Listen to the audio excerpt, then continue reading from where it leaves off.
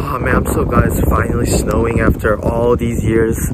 Ah, I can't wait to escape all my problems and oh! What is this? Bro, you've gotta be kidding me. This is the quadratic formula. The a, b, and c values correspond with the coefficients with a quadratic equation in its standard form. So then what does the quadratic formula mean? Well, let's say we have a quadratic function with two x-intercepts. The quadratic formula would give us the x-coordinate for these coordinate points. The quadratic formula also tells us how many x-intercepts there are based on the discriminant. The discriminant of a quadratic formula is the value inside the square root, which is b squared minus 4ac.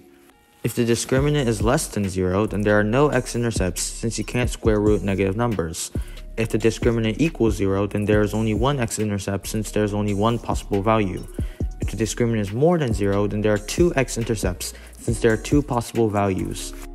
For example, let's say we have a function of x squared plus 3x plus 2. The a value for this function is 1, b value is 3, and c value is 2. We can then plug in these values and calculate them to get this new expression. Since the discriminant is greater than 0, we can safely infer that there are two x-intercepts. After more calculations, we have found the x-coordinate values of the x-intercepts. There are obviously much more easier ways to find the x values for the specific function, but as a demo of the quadratic formula, bear with it. This x-intercept can help graph the function, determine the vertex, and much more. But that's basically everything you need to know about the quadratic formula in under 2 minutes.